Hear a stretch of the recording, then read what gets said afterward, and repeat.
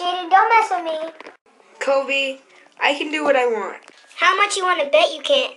Five dollars. I don't have that money, but I can get you your dog treats. Then I guess I win this fight. Dang it, Roof, roof, roof, roof, roof, roof, roof.